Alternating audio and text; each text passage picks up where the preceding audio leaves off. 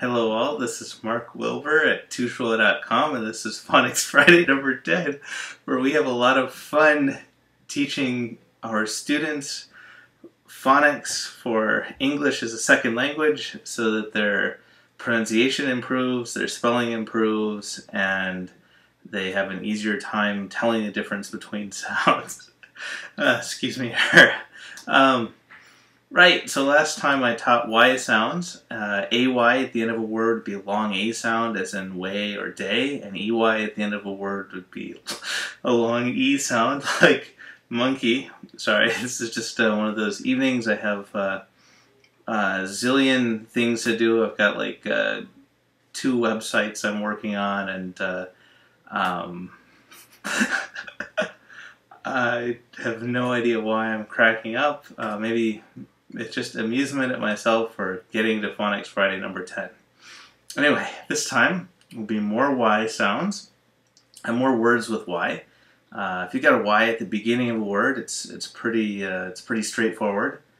I talked about Y's, or I should say vowel plus Y at the end of a word last time, and this time I'll talk about Y at the end of a word and Y in the middle of a word. Uh, it's a lot of ways Y is kind of the most inscrutable letter. It could be a consonant, it could be a vowel. If it's in the end of a word, might be a long I sound like uh, fry, or it might be a long E sound like funny. Let's start at the beginning or at the front of a word. If you have a Y at the front, well, let me give you some examples. Yellow, yolk, y'all, Yale, yo-yo. All of these are the stereotypical or the famous Y pronunciation. A lot of people say ya.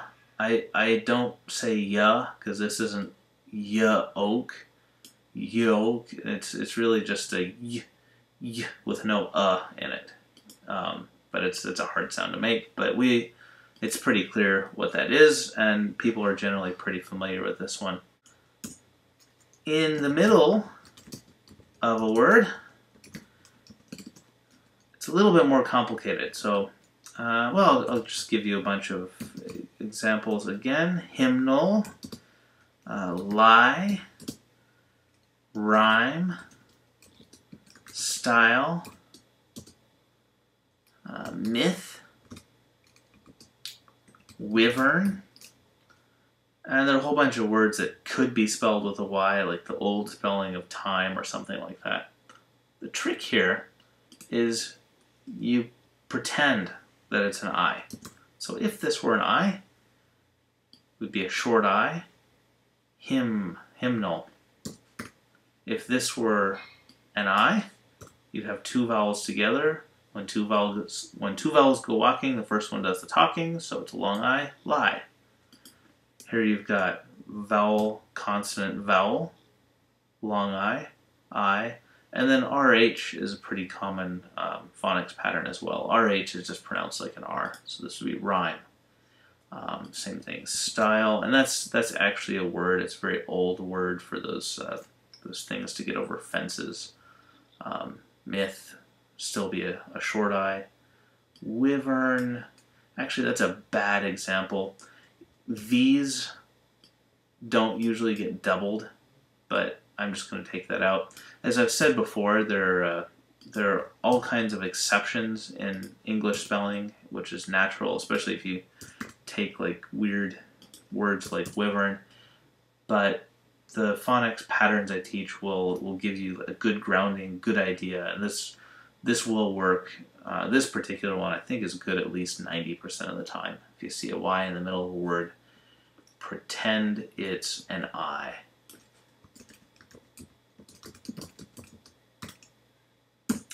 At the end of a word, uh, plus, let's see, let's see, vowel plus Y at the end of a word. This one's pretty easy. Just watch Phonics Friday number 9. Then the last case, which I think is the trickiest, is just Y. at the end of a word. Give you a bunch of examples. Let's see if you can come up with a pattern. Pry, fly, happy, fully, funny, jolly, angry, pry, sty, ply, mystery. Any any ideas here? It's a little bit misleading. So many of these are adjectives. You might think, well, an adjective, it's got to be a long E sound. And that's true, actually. An adjective will be a long E sound. Um, but mystery isn't an adjective. That's a noun, and it's got a Y at the end. That's a long E sound. What you have to look for is, is there a vowel in the word other than the Y? If all you've got is the Y, then it's a long I sound. And this this isn't because it's three letters long. It could be by, that's two letters long, or my, or spry is four letters long. But this Y is the only vowel, so it's a long I sound. Here, you have another vowel. So the Y at the end is a long E sound.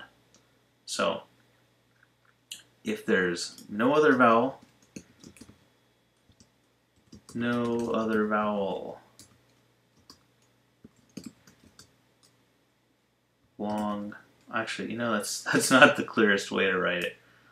Uh, just a y, just a y at the end of the word. If no other vowel, long I sound. If there's another vowel, then it's a long E sound. Okay, that's it. I had better drink my highly caffeinated green tea and get to work on all my all my stuff. Hope you picked up something. Uh, y is, is a very noble letter and often used, very versatile and very useful, even if it's frustrating for uh, students trying to learn English. So use it well.